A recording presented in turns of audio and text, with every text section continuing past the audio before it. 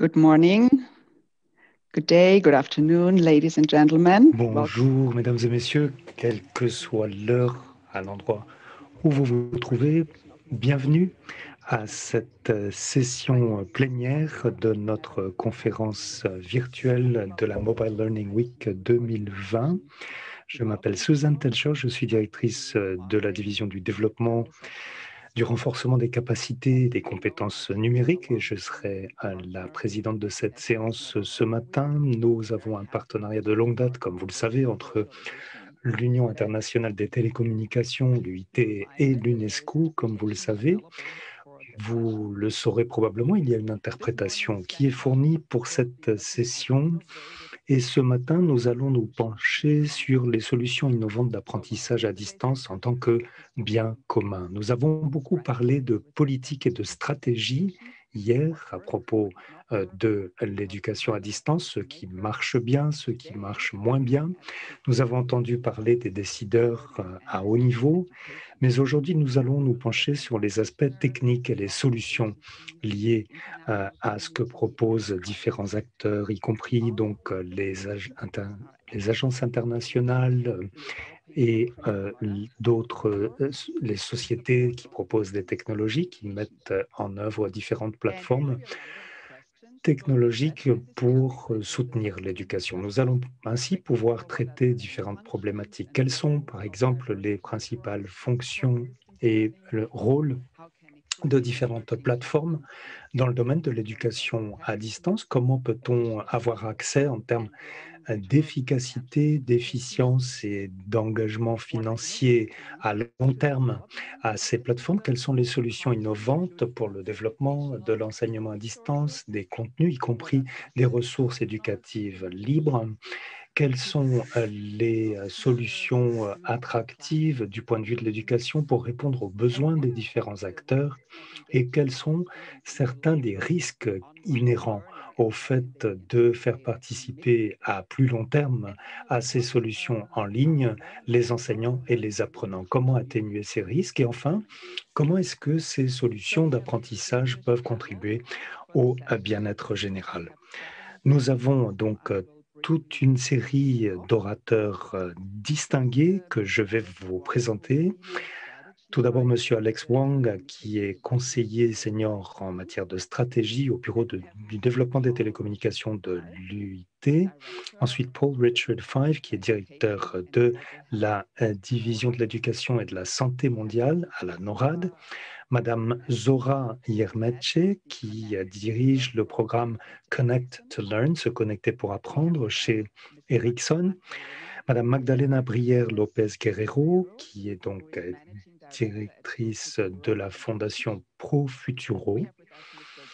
Monsieur Wayne Holmes, qui est chercheur principal dans le domaine de l'éducation à la Nesta au Royaume-Uni, et Monsieur Zhe Tianwang, qui est euh, directeur général pour euh, l'étranger de euh, du groupe euh, Weidong Éducation en nuage. Et nous avons enfin Madame Nandini Chatterjee Singh, qui est responsable senior euh, projet au MGIEP, donc l'Institut d'éducation pour la paix Mahatma Gandhi de l'UNESCO. Et bienvenue à tous nos orateurs et oratrices.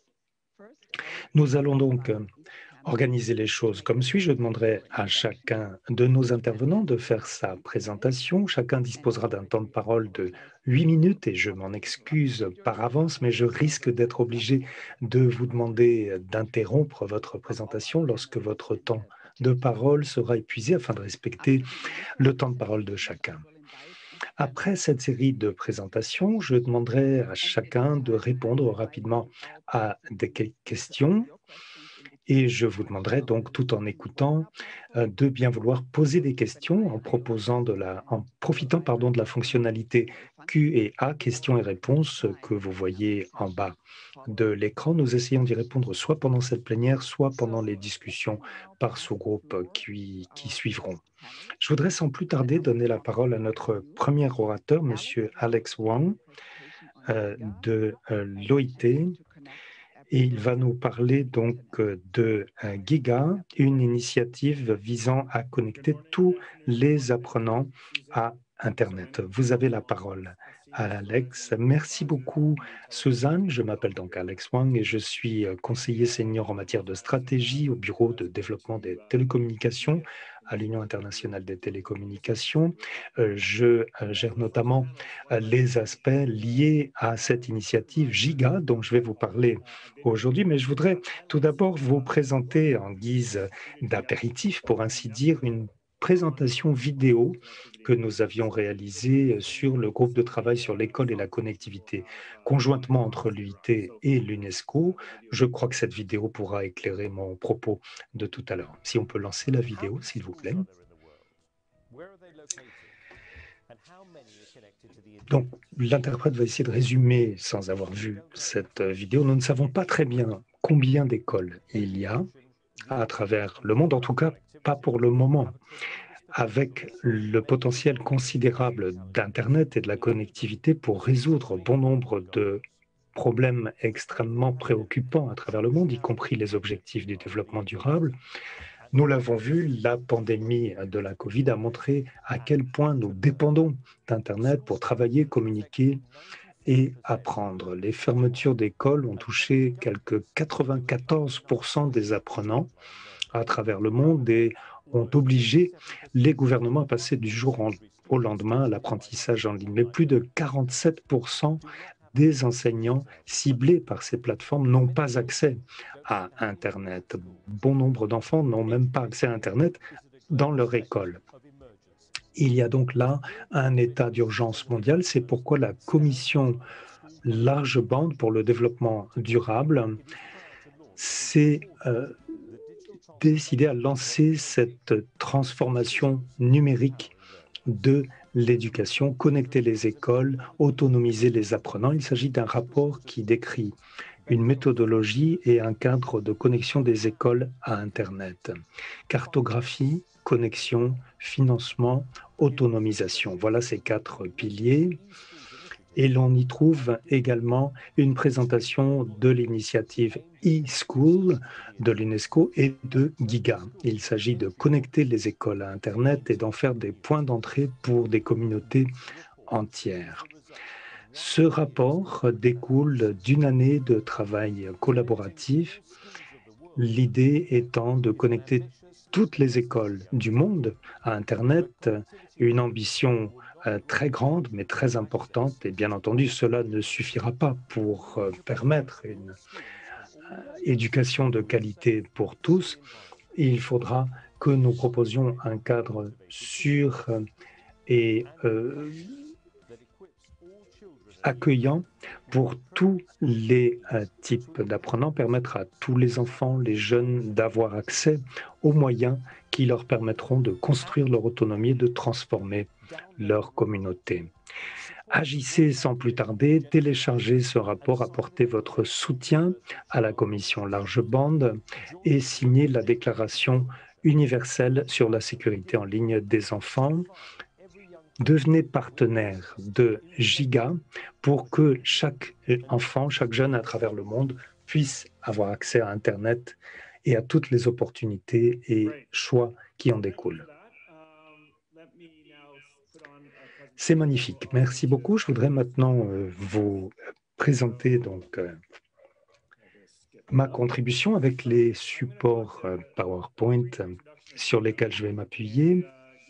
Je voudrais vous décrire rapidement l'initiative GIGA qui a été lancée il y a un certain temps maintenant pour connecter toutes les écoles à Internet. Il s'agit de veiller à connecter tous les enfants, mais également la communauté en tout cas à terme, dans laquelle vit euh, cet enfant aux opportunités euh, que l'on trouve sur Internet. Vous connaissez sans doute les statistiques, la moitié de l'humanité n'a pas ou presque pas accès à Internet aujourd'hui, et ceux qui sont privés de cet accès n'auront pas les mêmes opportunités que ceux qui l'ont.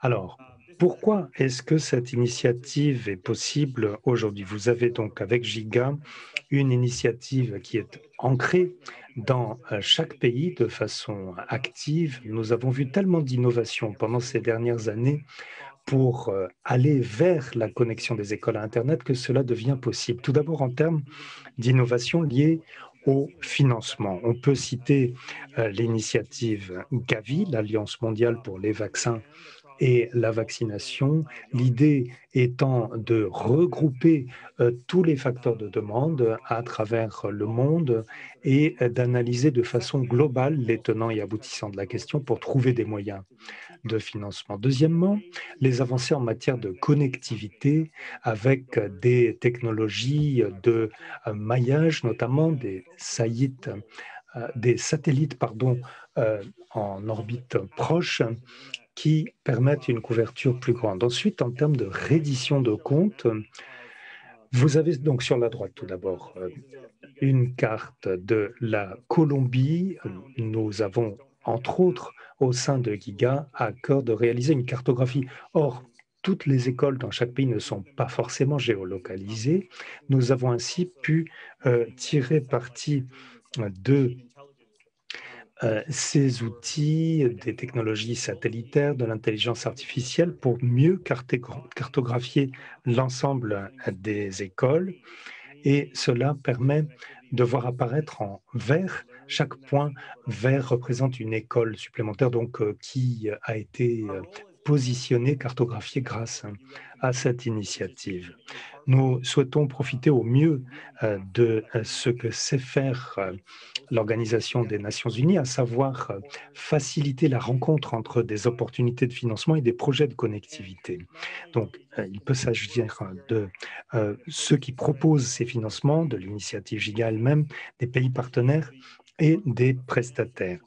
Il s'agit d'aller au-delà donc des structures et du financement, ce qui est évidemment l'essentiel, mais euh, de proposer un accès plus large à l'expertise en matière de connectivité et de réseau de l'UIT. Il faut pour cela avoir accès aux bonnes politiques, aux bonnes réglementations.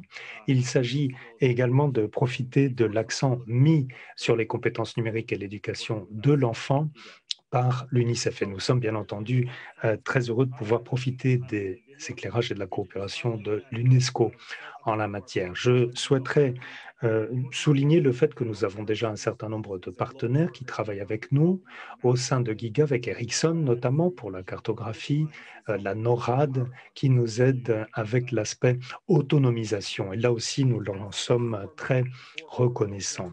Nous avons donc quatre piliers qui sont apparus tout à l'heure et que nous avons traduits, mais je ne rentrerai pas dans le détail, dans euh, ce parcours vers la connectivité pour chaque pays. Cela permet d'aider de façon méthodique les autorités nationales à identifier école par école les moyens euh, donc de proposer tous les financements et les solutions nécessaires. Voilà où nous en sommes actuellement. Nous sommes présents dans une quinzaine de pays euh, à travers euh, l'Afrique, l'Asie centrale, l'Amérique centrale, également avec beaucoup de pays qui s'y ajoutent dans d'autres parties du monde. Et pour conclure rapidement cette présentation, les principales conclusions de notre rapport de la commission large bande. Vous pourrez le télécharger si vous le souhaitez. Nos recommandations, donc, euh, il est essentiel euh, de pouvoir proposer une véritable connectivité à interprète, à, à, Internet, excusez-moi, pour permettre justement que l'éducation euh, se euh, déploie pleinement. Merci beaucoup, Alex, et merci également de vous en être tenu à votre temps de parole. C'est une initiative tout à fait euh, enthousiasmante qui montre tout ce que nous pouvons faire en nouant des partenariats avec d'autres acteurs. Et je voudrais maintenant donner la parole à notre orateur suivant, Monsieur Paul Richard Fife de la NORAD. Paul va nous présenter la bibliothèque numérique mondiale en tant que euh, bien commun numérique et nous parler de la façon dont on peut utiliser différents outils euh, de haute technologie, de faible technologie ou euh, des outils extrêmement simples pour renforcer les capacités de lecture et donc les apprentissages. C'est à vous, Paul.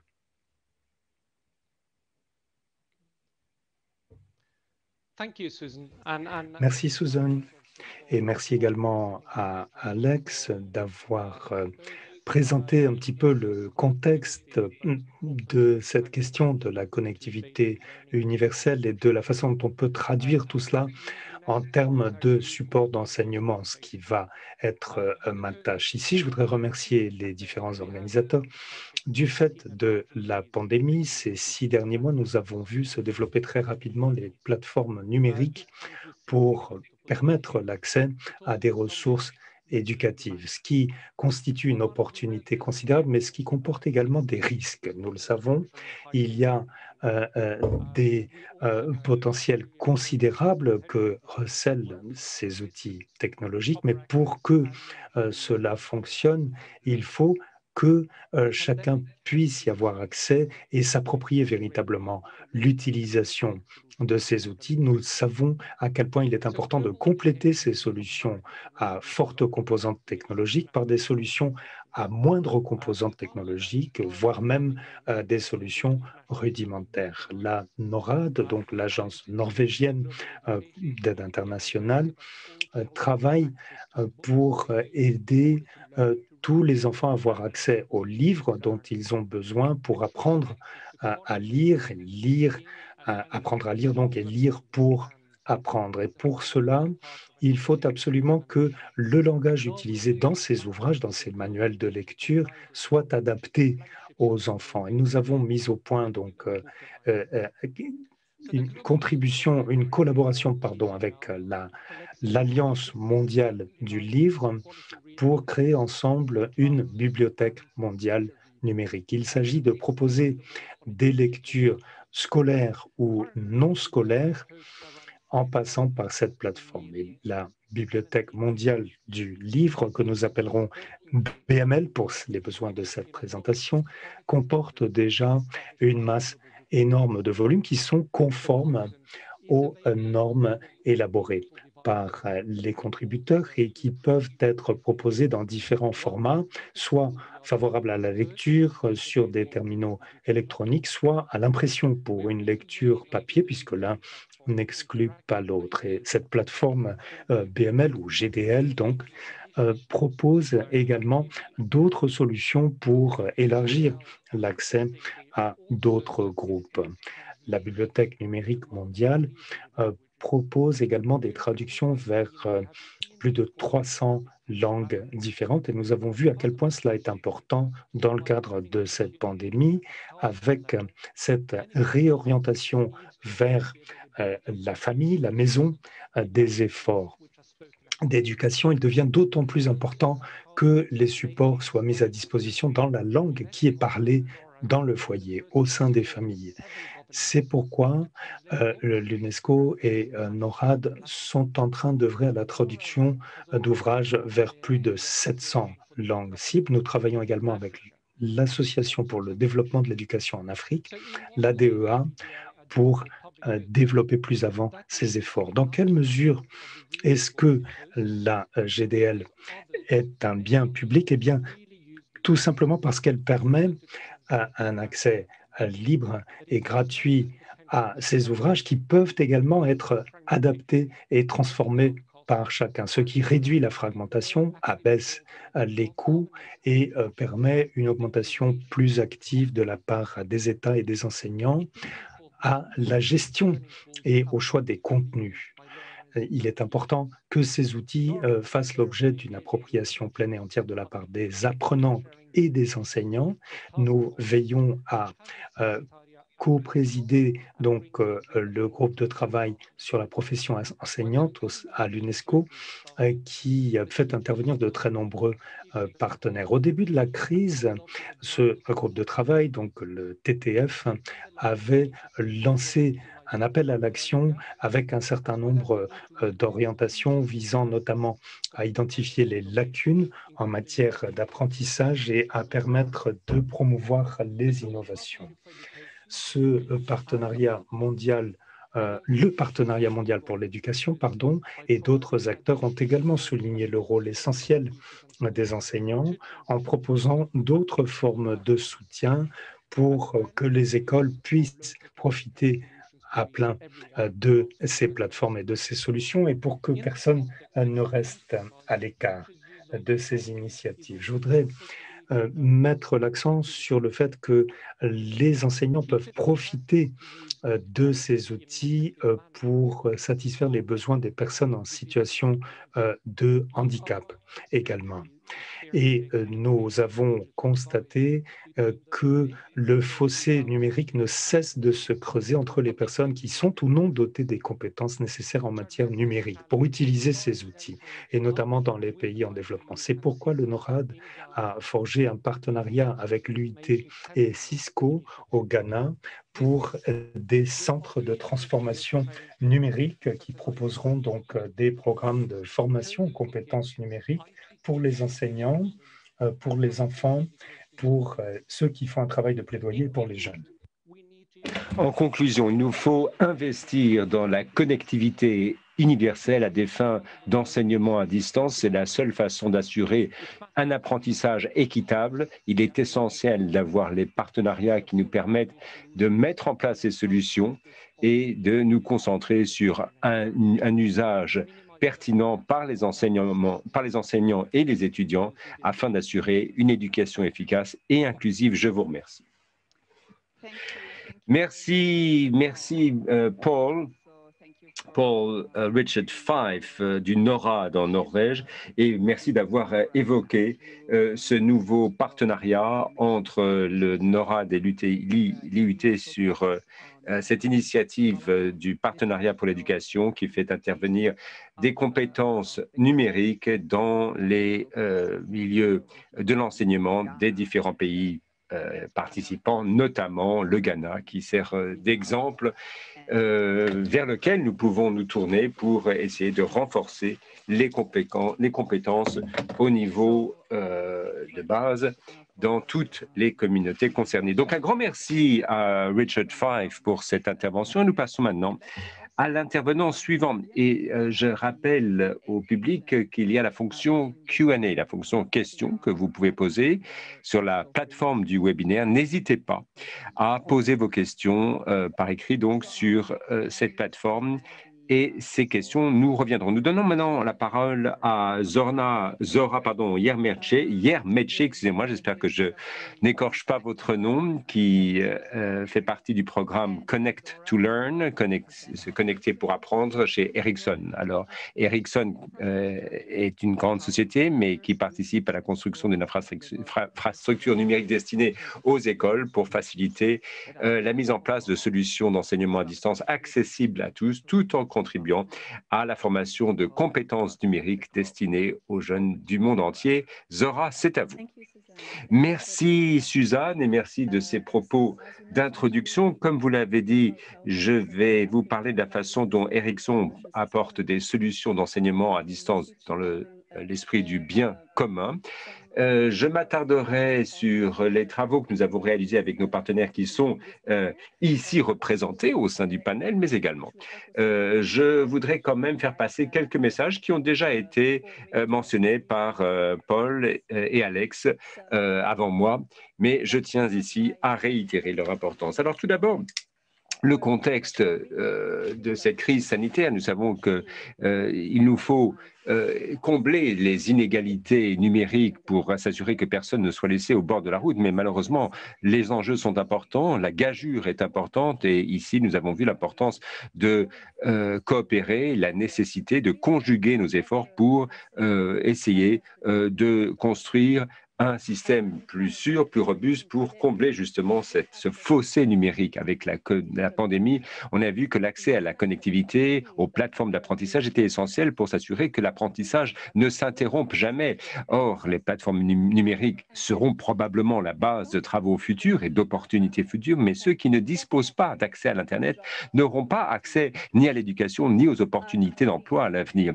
Euh, en tant que grand, euh, grand groupe de télécommunications, Ericsson a un rôle rôle à jouer dans ce contexte et s'intéresse avant tout à apporter la connectivité pour assurer la résilience du système éducatif. L'absence de connectivité dans la crise sanitaire a fait que certains enfants les plus vulnérables n'avaient plus accès à l'enseignement du fait que les écoles étaient fermées. Ceci n'a fait que contribuer à accroître justement, à intensifier, exacerber la crise de l'éducation. L'initiative Giga de notre ami euh, Alex de l'IUT euh, est un bel exemple de coopération mais qui nous montre ici un partenariat innovant qui nous permet de connecter toutes les écoles du monde entier euh, au réseau Internet. Chez Ericsson, nous sommes fiers d'être le premier partenaire du secteur privé qui s'engage à hauteur de plusieurs millions de dollars euh, auprès de Giga pour assurer cette connectivité, non seulement auprès des écoles, pour les écoles, mais euh, leurs utilisateurs, leur communauté. Mais avant que Giga puisse se connecter aux écoles, il faut savoir où sont les écarts de connectivité et c'est là qu'intervient l'expertise d'Ericsson. Nous savons que nous apportons notre connaissance, notre capacité scientifique pour pouvoir collecter, valider, analyser et visualiser les données relatives à la connectivité des écoles en temps réel, ce qui nous permettra de cartographier la situation de la connectivité des écoles et cela nous permettra d'avoir une plateforme en temps réel pour les gouvernements qui veilleront à ce que la connectivité atteigne toutes les écoles et tous les apprenants et tous les élèves, tous les étudiants. Alors, dans le nom de, au nom de notre programme phare, Connect to Learn, ce que nous proposons de faire. C'est d'essayer de construire une infrastructure inclusive et numérique, donc la collectivité pour tous, tout en permettant aux étudiants, aux enseignants et aux écoles d'avoir, de trouver des solutions d'enseignement qui soient accessibles à tous. Parmi les fonctions principales de ces plateformes diversifiées qui permettent d'assurer cet enseignement à distance, ce que nous essayons de faire surtout, c'est des solutions qui soient adaptées aux besoins, mais aux compétences de chaque euh, apprenant, de chaque élève donc, les compétences numériques sont au cœur de toute cette révolution numérique, mais elles sont un véritable prérequis pour les travaux futurs, en effet. Il est essentiel euh, que certaines compétences soient acquises pour certaines pratiques nécessaires pour euh, travailler sur des plateformes très diverses, des applications très diverses. Or, ces compétences doivent pouvoir s'appliquer à l'ensemble des contextes, des situations où les euh, élèves les apprenants doivent les utiliser. Aujourd'hui, les enfants doivent apprendre à avoir plus que des compétences de base. Euh, il s'agit maintenant de pouvoir programmer, connaître l'automatisation, les, les, algorithmes, les protocoles. Ces compétences numériques permettent euh, d'assurer d'abord un développement mental d'un ordre supérieur tout en encourageant et en permettant aux jeunes d'avoir accès ou de rechercher une, éducation supérieure dans les domaines des sciences et des technologies. Et pour faire face à la demande croissante, Ericsson propose des programmes en ligne qui visent des différents groupes d'âge, différents niveaux de compétences et surtout essentiellement centrés autour de la compétence de développement des compétences numériques, notamment des compétences qui permettent euh, d'attirer euh, les jeunes talents vers les industries de l'informatique, les, métiers de l'informatique. Alors, il faut donc combler cet écart numérique entre, euh, au, niveau de, euh, des populations actuelles qui entrent sur le marché du travail, des futures générations également, mais il faut surtout voir comment les nouvelles plateformes ou les plateformes existantes peuvent être mises en place pour renforcer l'efficacité, mais surtout, euh, si vous voulez, la, rentabilité financière à long terme, parce qu'il faut que ces plateformes puissent euh, avoir leur modèle économique. Pour cela, il faut que les, euh, les jeunes apprenants puissent acquérir des compétences validées pour leur propre perspective. Et sur notre plateforme Ericsson Educate, nous apportons un accès gratuit au contenu qui s'intéresse essentiellement aux technologies émergentes. Quel est l'objet de ce cursus? Il s'agit de compléter les compétences techniques des, étudiants à l'université en leur donnant des compétences informatiques qui permettront de s'intéresser à l'intelligence artificielle, l'apprentissage machine, la télécommunication, l'Internet, les objets connectés et, la 5G, etc. Et les entreprises de, l'informatique, enfin des secteurs des telcos comme euh, Ericsson, peuvent euh, permettre le développement euh, de programmes de formation informatique de, haute qualité qui permettent aux étudiants d'avoir un niveau supérieur de compétences. Mais chez Ericsson, notre outil essaye également de répondre aux besoins de nos partenaires tels que l'UNESCO. Et au début de l'année, dans le cadre de notre, partenariat avec l'UNESCO, nous avons lancé avec l'UNESCO un programme d'apprentissage des compétences numériques qui permettent notamment d'avoir accès au, à l'intelligence artificielle, en tout cas aux compétences liées à l'intelligence artificielle. Et donc, le développement des outils d'apprentissage permettent aux étudiants de la maternelle jusqu'à la terminale euh, de se former, d'apprendre, d'acquérir ces compétences. Et euh, nous avons une plateforme qui permet sur un, sur un site unique d'avoir accès à tout cela. Je vous invite à suivre l'atelier qui sera euh, proposé cet après-midi par Ericsson à, 14 heures avec des universitaires et des représentants de l'UNESCO où nous présenterons tout cela. Ce thème clé sera couvert de manière plus complète par M. Wayne Wayne Holmes pardon, dans, quelques instants, Wayne Holmes de Nesta. Mais en tout cas, il s'agit ici de renforcer les compétences pour aller au-delà euh, des simples établissements d'enseignement supérieur. Et, euh, mais évidemment, euh, on essaie de, permettre à ces étudiants de s'engager sur une voie d'enseignement, d'éducation à long terme. Comme l'a souligné Doreen de l'UIT, les ordinateurs ne peuvent pas remplacer les enseignants. dans le cadre de l'interaction enseignant-étudiant, l'enseignant est là pour motiver l'étudiant et on ne peut pas euh, remplacer cela par une simple bibliothèque de contenu numérique, quelle que soit sa qualité. Et donc, ces plateformes sont un outil, sont une voie que nous avons explorée qui propose des solutions innovantes pour la prestation de services d'enseignement à distance pour répondre aux besoins des étudiants ou des élèves euh, dans différents contextes. Cet été, dans le cadre de la euh, Coalition mondiale pour l'enseignement avec l'UNESCO et d'autres partenaires de la coalition, nous avons mis en place un projet pilote pour les filles entre les âges de 10 et de 20 ans, de 18 ans, pardon, et euh, des employés euh, de Ericsson se sont intéressés à des filles dans six pays différents. Et l'idée était de voir euh, quels étaient les, résultats euh, obtenus et c'était les résultats étaient tout à fait encourageants. Ce que je vous dirais en guise de conclusion, c'est que je voudrais réitérer l'importance de la coopération et l'importance de, conjuguer nos efforts pour euh, essayer de combler cet écart, ce fossé numérique, mais surtout, ce qui est essentiel, c'est de pouvoir assurer la connectivité pour tous, pour toutes les écoles, pour proposer ce bien commun à tous. Je vous remercie, je vous remercie Zora Yermeche euh, de Ericsson pour cette intervention tout à fait pertinente, mais surtout, vous avez souligné l'importance euh, de cette connectivité des écoles, cet euh, exercice de cartographie des écoles que vous faites avec Giga et qui permet d'avoir une meilleure idée de l'infrastructure existante, ce qui reste à, faire et surtout euh, l'écart de compétences. On, constate qu'il y a un véritable fossé numérique au niveau des compétences euh, sur, euh, sur le marché du travail, notamment en ce qui concerne les compétences informatiques. Je voudrais donner la parole maintenant à mademoiselle Magdalena Brière Lopez Guerrero de la Fondation Pro Futuro qui nous qui s'intéresse à l'éducation numérique euh, pendant les temps de la, pendant la crise sanitaire, pendant les temps du Covid-19, et nous parlera notamment d'un programme d'éducation numérique qui se propose de former les maîtres, les enseignants, et euh, qui se propose de faciliter l'apprentissage euh, des étudiants grâce à la technologie. Magdalena, c'est à vous. Merci, merci de ces propos liminaires. Je tiens également à remercier euh, l'UNESCO d'avoir invité Nesta à faire part, à présenter ses travaux. C'est un honneur d'être associé à ce panel et avec euh, d'autres organisations telles que vous, je vous propose euh, de présenter brièvement notre organisation, ce que nous avons fait pendant la pandémie euh, à travers cette vidéo. Magnéto, s'il vous plaît.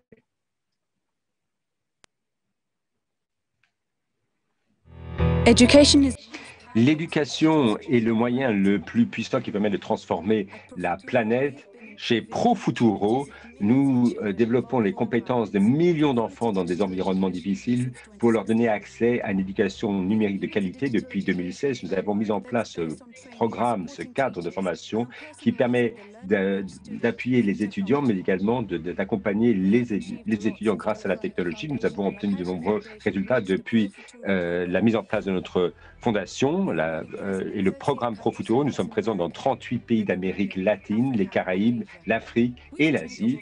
Et nous avons formé plus de 450 000 enseignants. Nous avons amélioré l'éducation de 11,5 millions d'enfants et créé un réseau de partenariats pour assurer la durabilité de notre programme à long terme. La fermeture des écoles du fait de la pandémie, la crise sanitaire a euh, souligné l'importance de l'accès à l'éducation par des moyens numériques, d'où dans ces temps de crise, chez Pro Futuro, nous avons adapté notre cadre d'éducation pour emmener l'éducation au-delà des salles de classe, pour permettre de former aussi bien les enfants que les enseignants gratuitement en apportant un contenu tel que chacun euh, soit inclus, que personne ne soit laissé pour compte et le partenariat s'est élargi à des organisations internationales telles que l'UNESCO, l'UNHCR, la Banque mondiale, l'Organisation des États américains, euh, le, cadre pour l'éducation dans les situations d'urgence. Et en Espagne, nous avons offert du matériel technologique aux familles qui n'ont pas les moyens euh, d'acquérir ce matériel pour combler cette, ce fossé numérique. Nous voulons améliorer l'avenir de quelques 25 millions d'enfants d'ici à 2030, communauté par communauté, école par, école, individu par individu. Euh, nous sommes prêts d'atteindre notre but.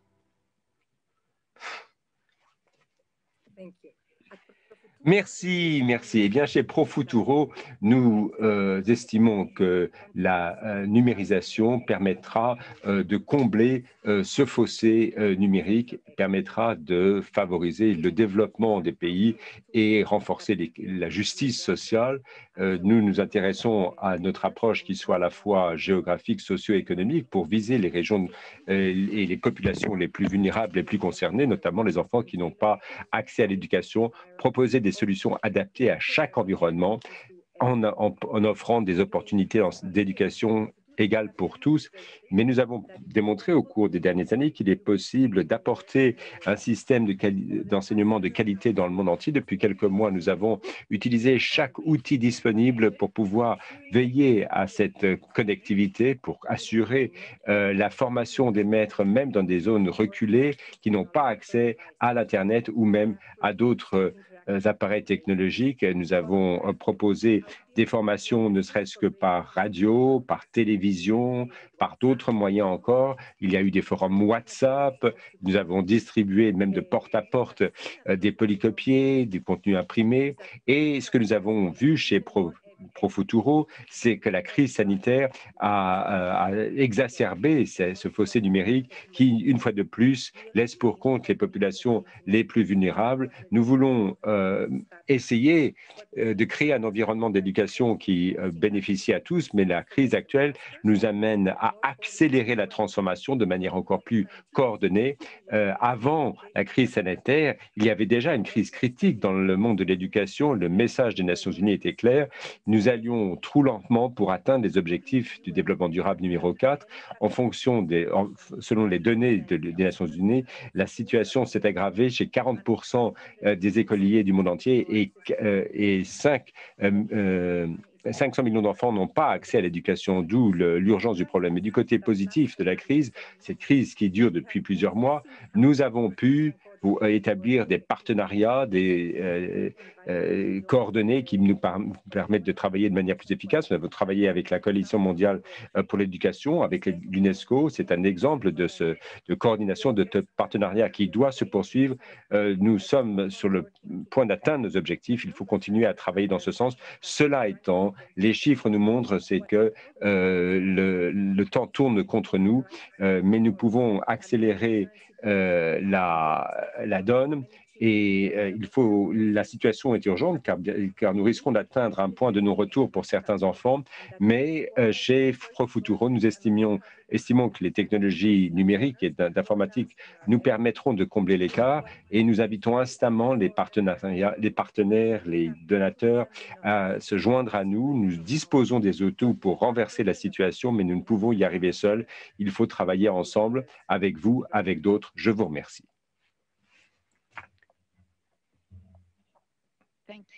Merci, merci Magdalena Brière Lopez Guerrero. De, cette intervention, de cette intervention tout à fait intéressante et nous, vous nous faites part des travaux passionnants qui sont ceux de la Fondation Pro Futuro où vous vous employez à diffuser les compétences informatiques, à combler le fossé numérique qui divise la, la population. Je donne la parole à l'intervenant suivant qui n'est autre que Wayne Holmes, qui est chercheur en chef à Nesta. Euh, Wayne va nous donner un aperçu euh, de, euh, de la riposte éducative à la crise sanitaire en, grâce à l'intelligence artificielle. C'est à vous. Merci Suzanne. J'aimerais également remercier l'UNESCO pour l'aimable invitation à participer à cette session. Comme nous l'avons déjà entendu, et cela apparaît clairement, euh, qu'avec la COVID-19, il y a eu résurgence dans l'utilisation de la technologie pour apprendre. Et nous avons euh, l'intelligence artificielle, qui est mon domaine d'intérêt euh, pour la recherche. Alors, euh, la connexion entre l'IA et l'éducation euh, soulève beaucoup de questions. Alors, qu'est-ce que l'IA apporte à l'éducation? Quelles sont les promesses? Quelles sont les implications? Et quels sont les avantages de l'IA pour l'enseignement et l'apprentissage partant de COVID? Pour répondre à ces questions en travaillant avec l'unité technologie et éducation par l'IA et euh, la Commonwealth of Learning. Nous avons invité euh, des spécialistes de l'éducation, des intellectuels euh, de partout dans le monde pour contribuer à la réflexion. Quelle a été leur expérience? Qu'avons-nous appris? Quels sont les défis? Quelles sont les réussites? Et qu'est-ce qui a été révélé par l'impact de la COVID? Aujourd'hui, je vais résumer euh, euh, certains des euh, preuves que nous avons reçues. Je voudrais saisir cette occasion pour encourager toutes les personnes qui écoutent et qui assistent à l'évolution rapide de la connexion entre éducation, l'IA et la COVID et qui voudraient nous faire part de ces éléments, de me contacter. Il faut dire également que je travaille avec la Commonwealth of Learning et l'UNESCO pour examiner ces preuves. Et je euh, parle en mon nom propre aujourd'hui et je fais part euh, de mes avis. Alors, euh, Gary Marcus, pour le paraphraser, c'est un chercheur éminent en IA. Je suis en fait un pessimiste à court terme de l'éducation par l'IA, mais à long terme, je suis optimiste. Je suis sceptique par rapport à ce qui se passe passe avec l'IA dans l'éducation aujourd'hui en tant qu'éducation euh, prometteuse, mais euh, à long terme, je pense qu'il y a un potentiel énorme euh, pour les humains, pour leur développement. Le premier point que je voudrais mentionner, c'est la disponibilité croissante des plateformes adaptatives utilisé lorsque les écoles étaient fermées. Cela donne des informations aux, euh, élèves, euh, euh, des activités et les réponses, les clics des étudiants, eh bien, donnent des euh, des informations leur permettant de suivre leur parcours. Alors, cela fait l'objet de recherches au cours des 40 dernières années, mais de plus en plus disponible dans des produits commerciaux. Le seul problème euh, un problème important, euh, c'est qu'il y a en fait peu de preuves que ces outils font ce qu'ils prétendent faire. Alors, je ne parle pas des plateformes mentionnées euh, par les euh, co-intervenants. Alors, les outils peuvent rendre l'apprentissage plus efficace et, que cela prépare les euh, élèves aux examens. Alors, euh, il ne s'agit pas simplement d'être efficace pour les examens. L'éducation consiste à aider les jeunes à développer leur potentiel, à réaliser leur ambition, à en fait euh, euh, euh, s'auto-accomplir, comme disent les psychologues, et contribuer à la société. Cela exige l'interaction sociale et ce que ces outils ne fournissent pas. Mais ces outils peuvent être utiles pour les devoirs, pour le rattrapage ou lorsqu'il n'y a pas d'enseignants physiques disponibles. Il ne faut pas non plus que ce soit une raison pour éviter d'employer des enseignants. Nous avons également sur la une longue période, quels sont les résultats? C'était une réponse d'urgence et la plupart des entreprises ont offert leurs outils adaptatifs et le nombre d'enfants les adoptant a augmenté et j'utilise enregistrement. Enregistrement parce que nous ne savons pas si l'enregistrement est suivi d'utilisation euh, effective, mais la plupart, beaucoup d'enfants, pendant longtemps, n'ont pas pu euh, utiliser ces outils. Il y a peu de preuves également euh, que les enfants qui utilisent ces outils ont un apprentissage efficace. Effectivement, la réalité, c'est qu'il s'agissait de donner à ces enfants une forme euh, euh, euh, d'éducation. Il s'agissait d'une riposte d'urgence.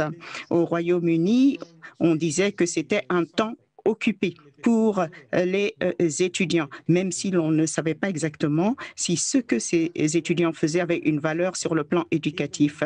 Lors de la du confinement, euh, de nombreux euh, euh, élèves, même dans les pays riches, ne pouvaient pas avoir accès aux outils, n'avaient pas peut-être d'ordinateur portable, n'avaient pas d'accès à Internet ou n'avaient pas tout simplement chez eux un endroit calme.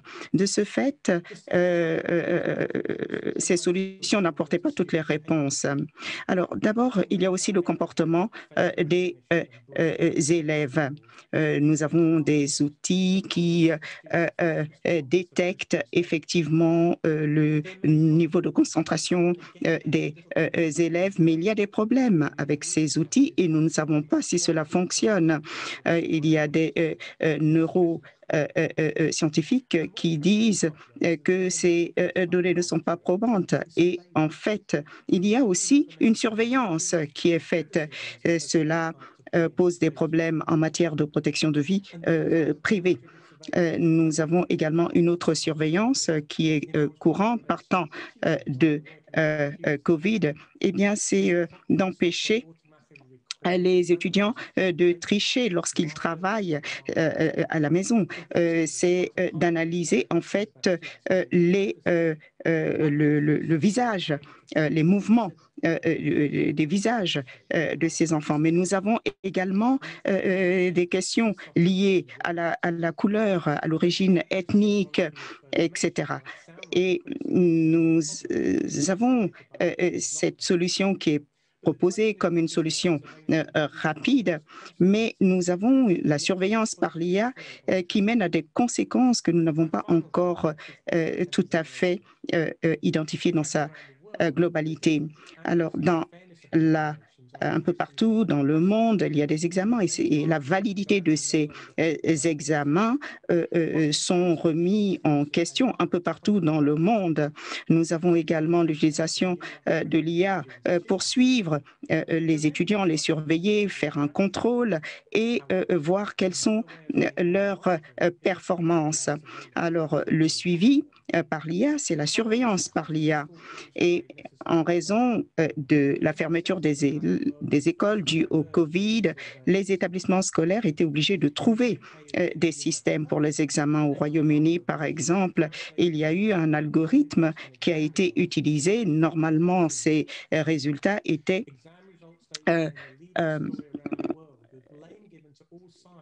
cette évaluation a été faite à partir d'examens, euh, mais c'est l'algorithme qui a été utilisé euh, euh, pour noter les enfants. Cela a accru en fait l'incertitude des résultats pour ces enfants. Les algorithmes IA ou mutants ont utilisé des notes sur la base de différents facteurs, leurs notes précédentes et les notes étaient en fait comparées les unes aux autres. Et les enfants étaient comparés les uns aux autres, ce qui veut dire que euh, les enfants étaient comparés à d'autres et pas uniquement à leurs propres notes, à leurs propres performances. Alors, euh, euh, les résultats ont été remis en, remis en question. Alors, l'IA est là et nous avons des euh, systèmes de notation qui ne sont pas non plus constantes, avec énormément de fluctuations. Euh, nous savons que l'IA prévu les résultats grâce aux données. Si les données ne sont pas bonnes, les prédictions ne sont pas bonnes.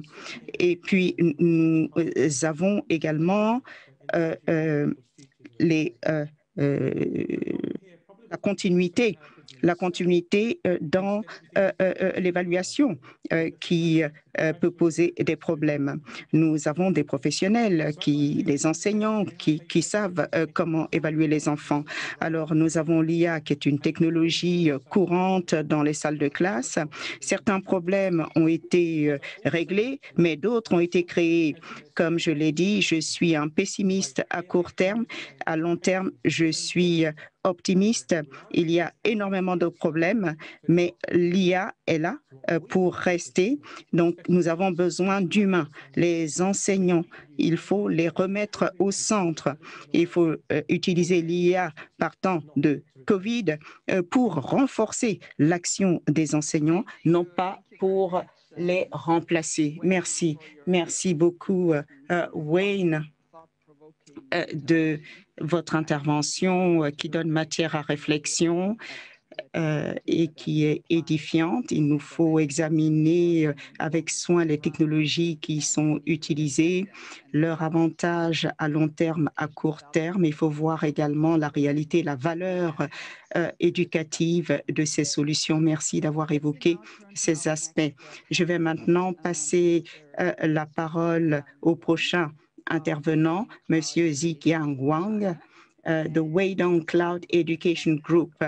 Et euh, M. Wang euh, va présenter le travail accompli par le groupe Weidong pour soutenir les pays en développement dans la mise sur pied des plateformes. Merci Suzanne, merci à l'UNESCO. De me donner euh, cette occasion de partager nos connaissances.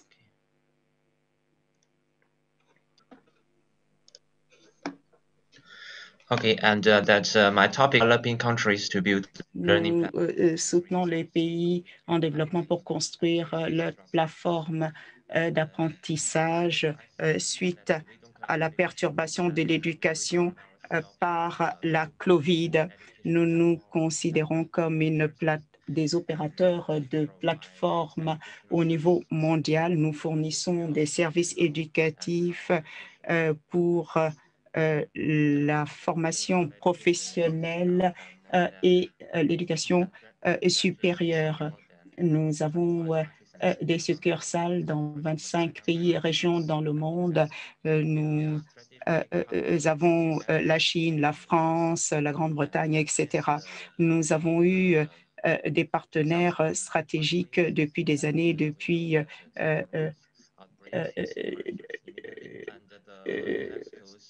le début de 2020. Nous avons eu l'apparition de la COVID et nous avons eu également des initiatives euh, lancé pour immediately to show our determinations to introduce the best practice. Le son est entrecoupé pour l'interprétation. L'interprète est désolé. Donc, il s'agit de trouver des solutions euh, numériques pour tous les pays membres. Nous avons euh, quelques remarques faites par notre euh, président face à la coalition et également à l'UNESCO.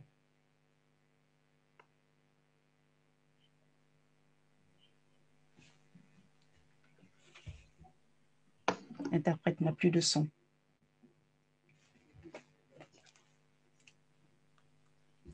L'interprète n'a plus de son.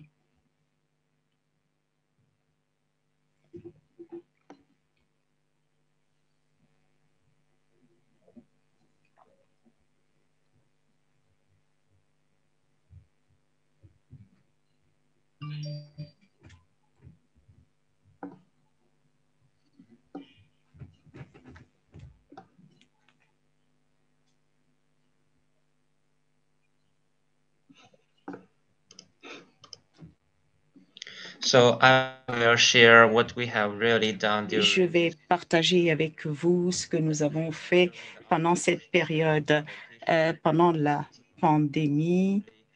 Waydon Cloud Education a participé à des webinaires, à de nombreux webinaires. à- au siège de l'UNESCO, euh, l'IPE de l'UNESCO, le bureau de Nairobi et d'autres bureaux régionaux et euh, a fourni des solutions euh, pour associer des appareils numériques avec des plateformes d'apprentissage. Nous avons à peu près 20 millions d'étudiants qui étudient en ligne. Nous avons également des plateformes et, nos solutions euh, qui euh, soutiennent des établissements scolaires euh, à hauteur de 9 253. Nous fournissons non seulement la plateforme, mais les contenus également d'apprentissage. Et les enseignants peuvent télécharger leur contenu, leur matériel pour les, pour les étudiants. Et nous avons également euh, euh, des euh, euh, sessions en, streaming direct avec interaction euh, directe entre les enseignants et euh, les élèves. Nous avons également des services d'évaluation de statistiques pour les enseignants et les étudiants. Et les étudiants et euh, les enseignants peuvent suivre leurs performances et euh, également recevoir des conseils de notre euh, plateforme. Voilà ce que nous avons fait avec l'UNESCO. Nous avons mis sur pied des écoles intelligentes dans les pays membres, en Égypte, à Djibouti, au Cambodge. Au Cambodge, il s'agit d'avoir euh, euh, des appareils électroniques modernes et euh, des applications pour faciliter et aider euh, à, l'environnement d'apprentissage. Au Pakistan, par exemple, nous avons euh, mis sur pied une salle de classe intelligente. Nous avons organisé des réunions avec le ministère de l'Éducation au Pakistan. Là, vous voyez à partir de ces images que les enseignants utilisent notre salle de classe intelligente pour euh, télécharger des contenus et les partager avec euh, les euh, étudiants. En Asie du Sud-Est, nous avons également établi, conclu des partenariats avec des euh, euh, pays membres euh, pour euh, euh, travailler. Euh, Ici, vous avez l'exemple du ministère de l'Éducation euh, aux- Philippines. Euh, Il s'agit d'utiliser la technologie pour maintenir la permanence de l'éducation. Nous avons un autre euh, exemple. Shanghai Cooperation. Nous avons un partenariat avec Shanghai Cooperation Organization et vous avez le secrétaire général de euh, euh, cette organisation et le secrétaire exécutif également de cette organisation qui utilise notre plateforme euh, pour apprendre. Nous, euh, avec les pays membres, nous expliquons comment nous travaillons avec l'UNESCO et ce que nous avons fait pour les pays membres. So I think that uh, concluded nous euh, avons déjà euh, accumulé euh, une somme d'expérience euh, importante avec des solutions efficaces pour les partenaires. Nous pensons qu'il faut voir l'environnement d'apprentissage comme étant un écosystème. Nous avons les plateformes, mais nous avons les contenus. Si nous voulons que les élèves continuent d'apprendre, il faut également un soutien euh, financier et nous pouvons euh, combiner, associer toutes ces solutions et les offrir à nos partenaires. Euh, Pour ce qui est du contenu, nous avons le groupe Demos qui est un, un groupe important de, pour ce qui est du contenu et euh, nous avons plus de 3500 euh, contenus en ligne pour les étudiants. Nous avons également euh, des écoles euh, commerciales, la, la plus connue en France pour laquelle nous avons des diplômes, diplômes de doctorat par exemple, ce qui veut dire que l'éducation l'enseignement supérieur peut également bénéficier de nos solutions. Nous avons travaillé avec la Côte d'Ivoire, avec le ministère de l'artisanat et nous avons un projet dans ce pays qui inclut l'établissement de 13 centres de formation, des équipements pour l'enseignement à distance, l'enseignement numérique pour que les étudiants et les adultes puissent avoir accès à une formation professionnelle de qualité. Donc nous avons également des partenariats dans le cadre de différentes coalitions. Également, nous travaillons avec différents acteurs pour essayer d'apporter notre concours et notre coopération à différentes plateformes, différents partenaires, différents programmes de formation en ligne. Pour euh, certains pays et partenaires, nous contribuons également au développement euh, des infrastructures et des technologies. Nous pouvons donc proposer les euh, salles de classe intelligentes que j'évoquais tout à l'heure. Voilà ce que j'avais à vous dire aujourd'hui. Merci. Merci beaucoup.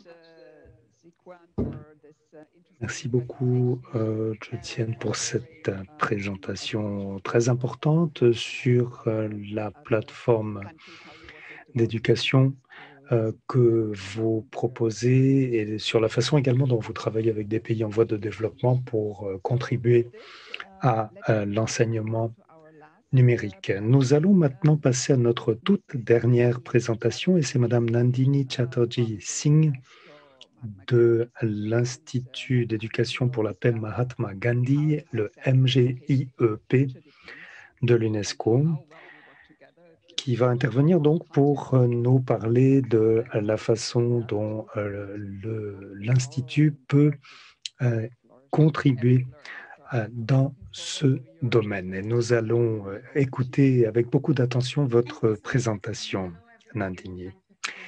Merci beaucoup et merci à toutes et à tous de votre présence. La formation en ligne est désormais une réalité. Il faudra sans doute y réfléchir plus avant pour veiller à ce que le bien commun soit bien au cœur des missions de l'UNESCO que pouvons-nous faire pour veiller à cela? C'est quelque chose qui nous a amené à réfléchir notamment à la question des contenus de qualité. Il faut que les apprenants aient le choix de ce qu'ils souhaitent étudier et du comment également. Il faut sans doute euh, s'attendre à ce que, à mesure que les gens apprennent à apprendre ensemble, nous apprendrons également à tirer parti des schémas d'apprentissage qui émergeront à travers le monde. Et si nous sommes capables également de mettre en commun les ressources dont nous disposons pour mieux saisir les tenants et aboutissants de cette dimension du bien commun, ce sera probablement une bonne chose. Il est temps, très probablement, de réexaminer, de réapprivoiser donc euh, ce que peuvent nous apprendre les sciences cognitives nous euh, savons désormais suffisamment de choses sur la façon dont le cerveau apprend et sur les bons moments, les moments propices aux apprentissages pour pouvoir euh, euh, alimenter, soutenir ces processus. Après tout, vous avez dans cet organe qui se situe entre vos deux oreilles tout ce qu'il faut pour pouvoir œuvrer à euh, la création d'une société durable. Nous pouvons euh, retirer des sciences euh, cognitives l'idée que si on se borne à utiliser l'université pour donner aux apprenants des compétences numériques ou simplement des informations textuelles, cela n'est pas suffisant. Il faut bien au contraire tirer parti de ces possibilités-là pour alimenter l'élaboration des expériences d'apprentissage. Autrement dit, si on pense à des notions telles que le fait de raconter des histoires, de jouer, de discuter ensemble, tout cela est essentiel pour les apprentissages. Il faut également garder en tête le fait que chaque apprenant n'apprend pas de la même façon. Il doit pouvoir fixer ses propres rythmes, il faut qu'il puisse s'approprier les apprentissages plutôt que de se conformer simplement aux indications de l'enseignant pour que justement les connaissances acquises perdurent.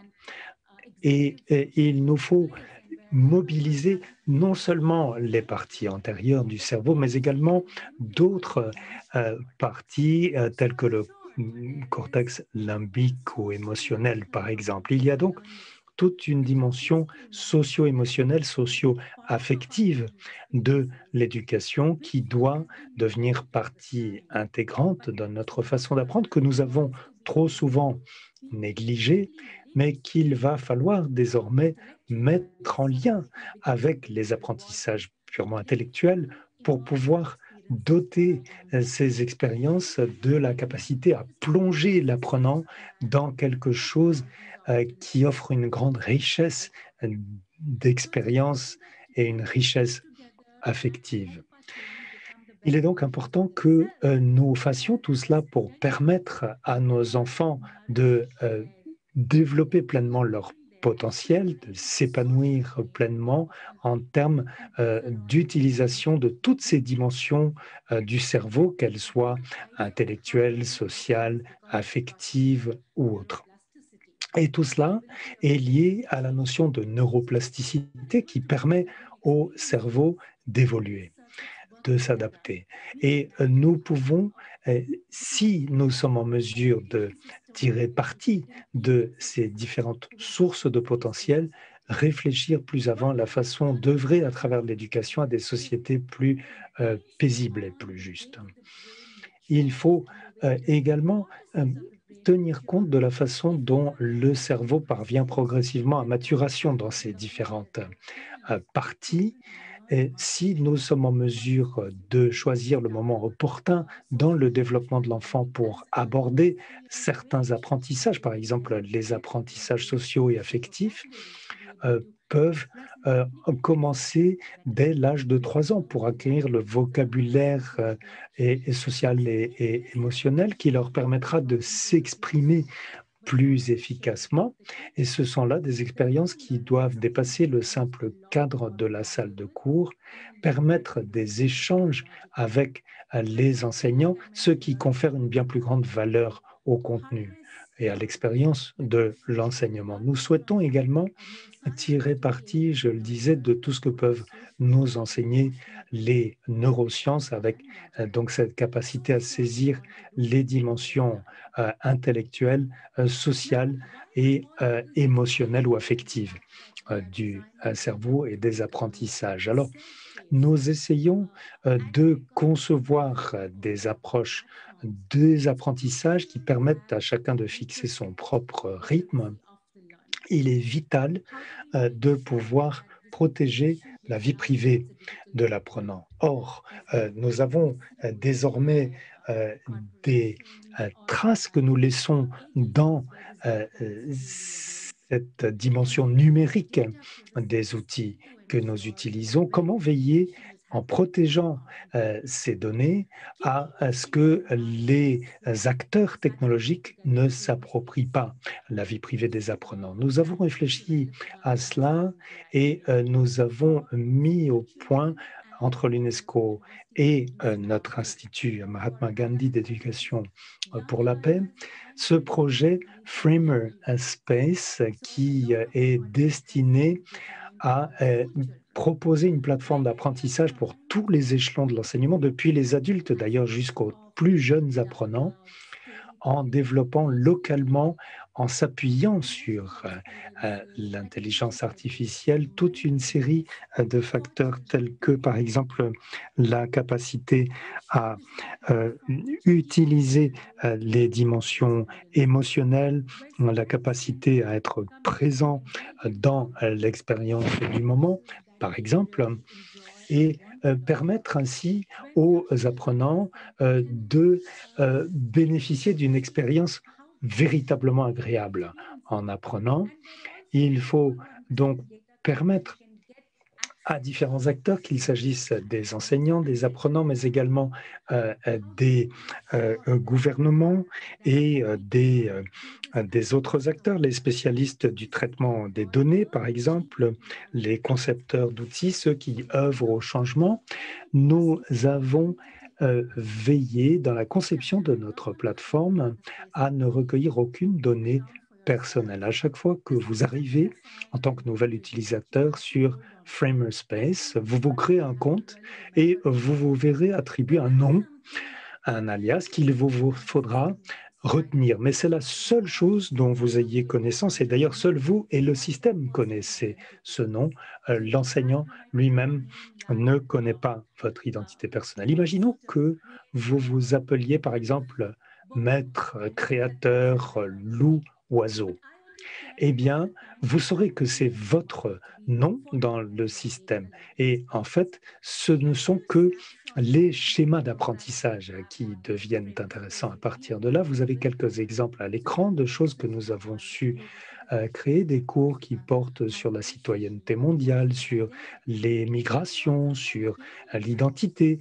Mais il faut euh, présenter également euh, des cours sous forme de jeux. Par exemple, Bury Me My Love, que vous voyez à l'écran, Enterre-moi mon amour, euh, qui euh, s'inspire d'un jeu commercial du monde réel, mais qui permet aux enfants d'apprendre les tenants et aboutissants sociaux et affectifs de l'expérience des migrations et de l'exil à travers un contexte ludique. Cela permet donc de développer toutes ces dimensions intellectuelles, euh, affectives euh, et sociales. Cela permet donc aux euh, développeurs de contenu non pas de créer des compétences en matière de technologie de l'information et de la communication, mais bien des expériences pédagogiques numériques qui soient véritablement immersive, interactive et qui s'appuie sur la motivation euh, autonome de l'apprenant en lui proposant des retours instantanés. Ces interactions euh, sociales euh, qui sont si importantes en termes d'apprentissage social et affectif doivent faire partie intégrante de nos contenus et de nos pédagogies numériques. Alors, nous ne sommes plus à la quatrième révolution industrielle. Désormais, c'est la première révolution de l'intelligence qui s'entame et nous avons là une occasion rare de faire les choses comme il faut et de tirer parti de tout le potentiel des apprentissages. Nous souhaitons mettre en avant cette idée d'une promotion de l'éducation afin de la mettre à disposition de chacun sans qu'elle soit euh, l'objet d'une appropriation par qui que ce soit en lui permettant d'être géré par des organisations intergouvernementales, internationales, pour le bien de tous, pour le bien commun, car ce devrait bien être là l'objectif de l'éducation. Merci, merci infiniment Nandini d'avoir apporté cette perspective particulièrement éclairante de, eh, des neurosciences dans notre discussion. Nous avons désormais, mesdames et messieurs, voyons voir, 17 minutes pour euh, euh, notre temps de questions et réponses. Et je voudrais euh, proposer tout d'abord à tous les participants de répondre à une ou peut-être deux des questions posées, mais en tout état de cause, veuillez ne pas parler plus d'une minute d'affilée dans vos réponses. La question euh, euh, que je vais poser en premier la suivante. De votre point de vue, comment est-ce que vos solutions d'apprentissage contribuent au bien commun? C'est juste simplement au cas où vous n'auriez pas traité cette question dans votre présentation. Deuxième question, que peut-on faire de plus pour que ces solutions et stratégies euh, qui émergent dans le cadre de la réponse à l'épidémie puissent véritablement contribuer au bien commun et au bénéfice de nos personnes. Euh, Alex, est-ce que vous seriez d'accord pour nous dire quelques mots sur ces questions? Merci, euh, Suzanne. Je pense que cette crise sanitaire euh, a, souligné l'importance de la connectivité pour, en quelque sorte, être resté connecté, c'est le cas de le dire, et, le Conseil de sécurité des Nations Unies l'a rappelé. Mais la démarche de, de euh, va un peu plus loin. On se rend compte que euh, le problème de la connectivité, là où on arrive à, à des, insuffisances, c'est qu'il n'y a pas, si vous voulez, un, une infrastructure su suffisante euh, pour pouvoir assurer que euh, le contenu arrive euh, pas simplement aux écoles, mais à tous, tous les élèves, tous les apprenants. Et c'est ça la démarche de, de Giga. On s'est intéressé pas simplement à la structure matérielle, mais également au substrat financier pour s'assurer que les moyens soient là, les ressources soient là, pour qu'au bout du compte, on arrive à mettre en place les, les solutions dont les enfants du monde entier ont besoin. Merci, Alex. Est-ce que Paul voudrait nous dire deux mots à ce sujet?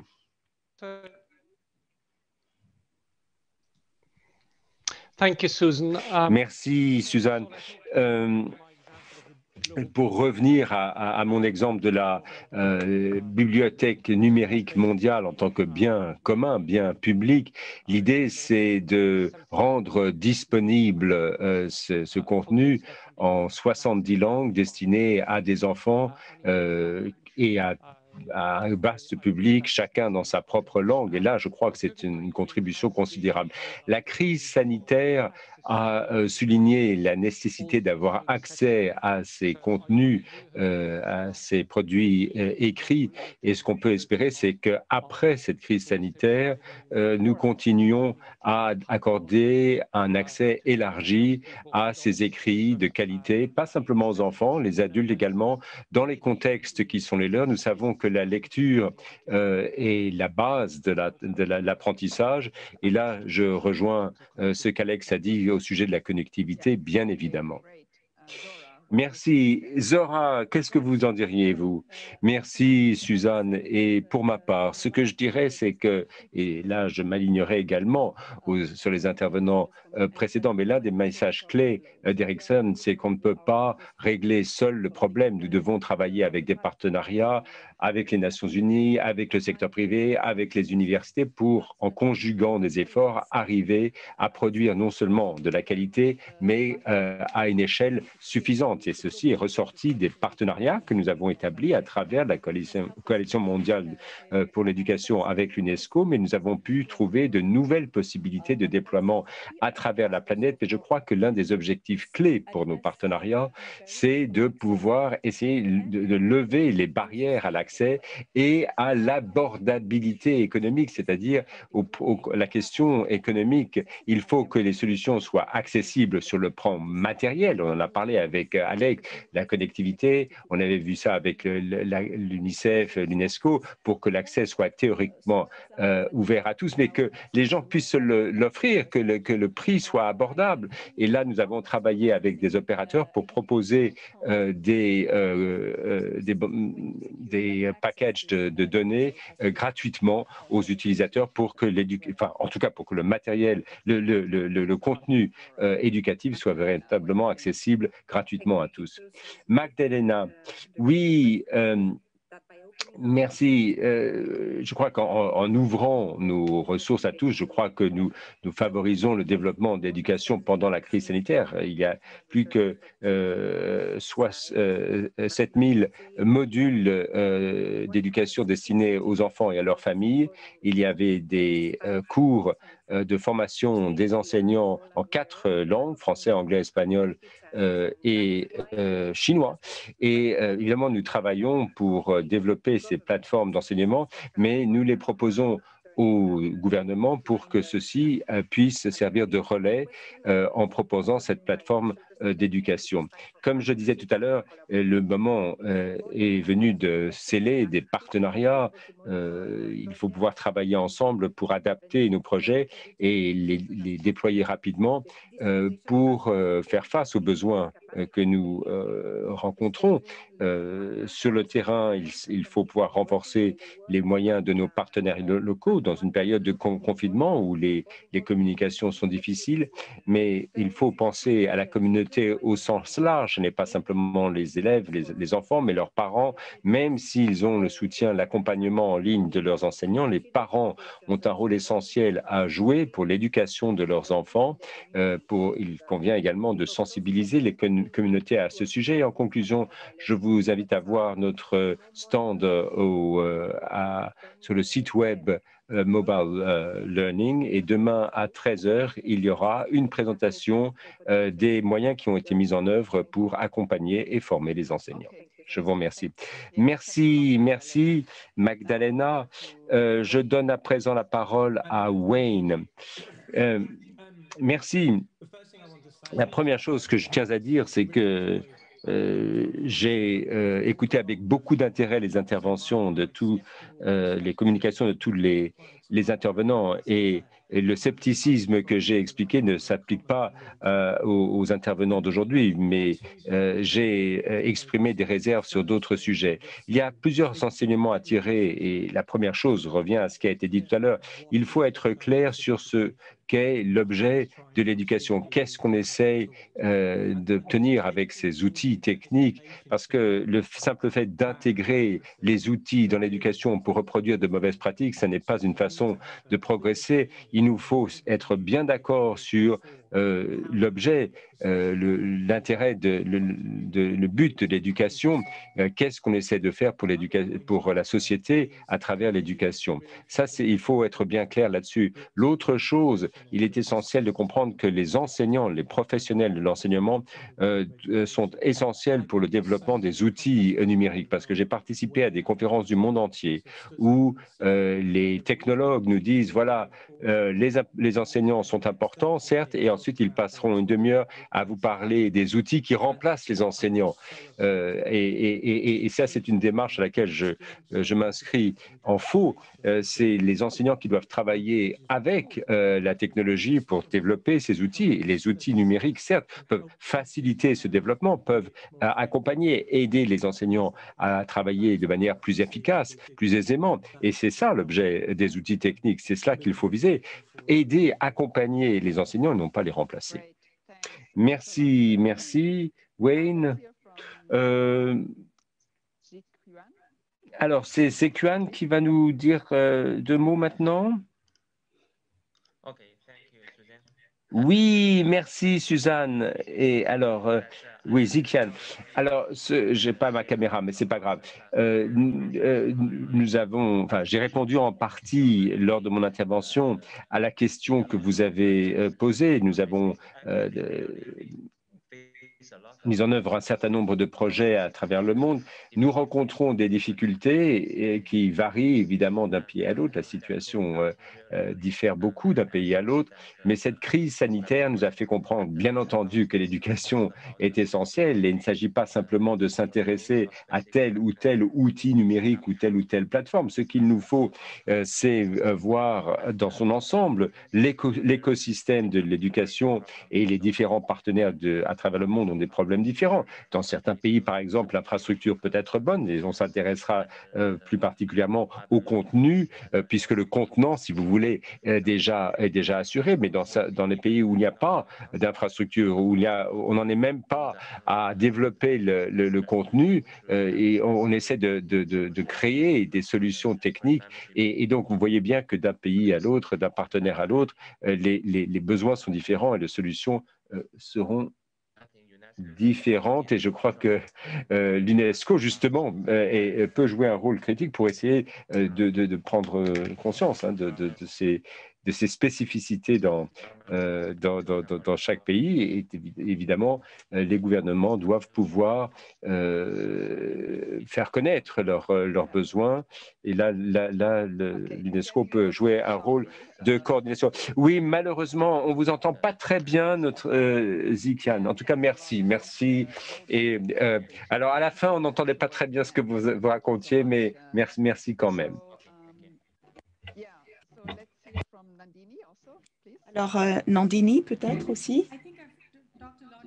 Je crois que j'ai euh, parlé du bien, bien collectif, mais je voulais euh, évoquer à nouveau la notion du fait que l'éducation doit définir sa finalité, pas seulement pour la croissance économique, le développement économique, mais pour l'épanouissement humain, mais également que l'éducation puisse renforcer la résilience affective, émotionnelle, parce que la COVID a apporté euh, euh, l'anxiété, les gens se sont sentis déconnectés et il nous faut euh, faire en sorte que nos enfants soient prêts à affronter la vie et ses différents défis. Et on peut former les enfants pour cela. Alors, comment y parvenir avec les systèmes éducatifs que nous allons concevoir pour l'avenir et comment s'assurer que les compétences acquises vont les rendre euh, flexibles, des êtres humains flexibles qui peuvent travailler ensemble. Voilà ce que je voulais dire. Merci. Merci beaucoup. Je regardais euh, sur le chat euh, pour voir les questions posées et je vais en poser deux. Nous en avons une pour Alex, une autre pour euh, Zora et puis une autre pour euh, euh, l'un d'entre vous. Alors la question porte sur Giga. Est-ce que cela fonctionne avec les ONG Avez-vous l'expérience avec l'Afrique de l'Est, l'Afrique australe et les pays arabes? Zora, comment euh, en savoir davantage sur vos travaux et créer des euh, partenariats pour que ces solutions arrivent dans les euh, zones marginalisées et l'incorporation de l'apprentissage en ligne. Une question, une question qui est un peu provocante. Est-ce que vous pensez que l'éducation de citoyens euh, pensants est dépassée? Il faut peut-être commencer à former une génération euh, de personnes agissantes. Alors, euh, d'abord Alex, ensuite Zora, et puis si l'un d'entre vous souhaite répondre à la dernière question. Alex, sur la première question, oui, euh, l'idée euh, de Giga, euh, c'est d'être une plateforme qui réunit tous les acteurs. Nous avons un groupe d'experts intérimaires. Vous pouvez nous envoyer un email pour avoir des informations. Le lien est apparu plus tôt. Alors, en euh, nous développons pas, nous, nous aurons euh, des discussions sur les plateformes par pays. Et bien sûr, euh, avec la COVID, les choses sont un peu plus ralenties parce que c'est plus difficile de travailler en ligne sur ces questions. Merci, Zora. Est-ce que vous voulez répondre à la question qui vous a été posée? Et peut-être que je demanderai à Nandini de répondre à la dernière question. Merci, euh, Suzanne. Oui, nous euh, sommes ouverts à tout partenariat avec les gouvernements, les ONG, le secteur euh, privé. Il faut simplement nous contacter. Vous pouvez nous contacter. Je vais simplement euh, afficher l'adresse sur le chat ou me, me contacter directement ou bien Connect to Learning at Ericsson. Et vous pouvez également aller sur notre plateforme euh, qui est consacrée à Connect to Learn. Mais vous pouvez me contacter directement. Merci. Merci, Zora. Alors, la question euh, concernant des citoyens réfléchissant par rapport à des citoyens agissants. Euh, J'aimerais en fait euh, partager mes préoccupations. Nous euh, euh, essayons d'agir sur le libre arbitre. Nous encourageons les personnes à agir, par exemple au niveau des décideurs. Euh, nous voyons par exemple des décideurs qui réagissent à une euh, situation et nous leur demandons qu'est-ce que vous en pensez? Est-ce que vous auriez réagi de la même façon? Et si oui, pourquoi? Et sinon, pourquoi pas? Et puis, également, nous savons qu'il y a énormément de changements que nous devons apporter à notre style de vie compte tenu du changement climatique. Mais peu de gens veulent le faire. Nous pouvons poser la question, pourquoi pas? Parce que, eh bien, c'est peu pratique pour nous de le faire et, et, et nous sommes tout à fait conscients de cela. Nous essayons d'appeler d'amener les jeunes à faire usage de leur libre arbitre d'agir et de voir euh, quelles euh, euh, sont leurs réactions et nous leur donnons également la possibilité de voir l'impact de leur action à long terme. Donc, si vous venez à Framerspace, vous pourrez assister à toutes ces discussion. Merci beaucoup, merci beaucoup. Euh, je vous remercie. Le temps euh, commence à nous manquer. Je vais faire un, petit résumé. J'ai entendu parler de l'importance de la connectivité des écoles euh, dont il faut tenir compte lorsqu'il s'agit d'éducation à distance, d'apprentissage en ligne. Il ne faut pas simplement envisager des solutions aux technologies, mais également à euh, euh, des euh, solutions traditionnelles en s'adaptant aux apprenants. Il faut équiper les enseignants. Les ordinateurs ne vont pas remplacer les enseignants. Voilà un message que j'ai retenu. La protection de la vie privée, qui est très importante lorsqu'on utilise ces plateformes et ces outils numériques. Et lorsque l'on retient les discussions sur l'IA et l'éducation, il y a des points positifs et des points négatifs. Il faut être réaliste pour ce qui est de l'application des outils et des avantages que nous pouvons en tirer.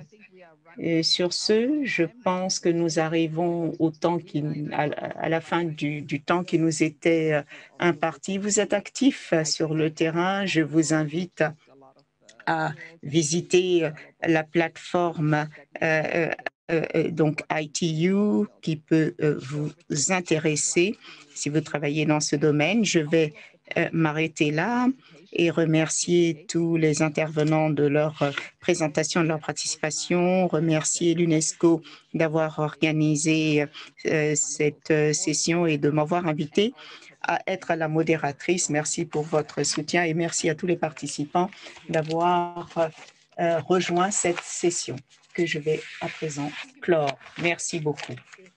Merci beaucoup. Merci. Merci. Merci. Merci. Au revoir.